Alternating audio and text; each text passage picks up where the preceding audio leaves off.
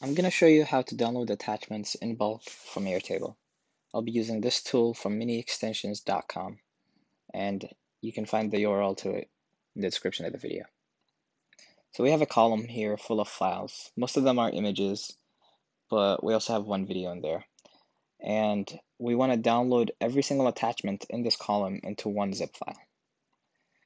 So we'll have to fill in our user API key, base ID, table ID for our table, you can find the instructions for those with those URLs.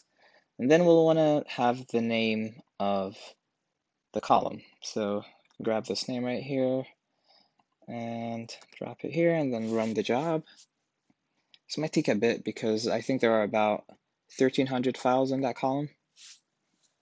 There you go.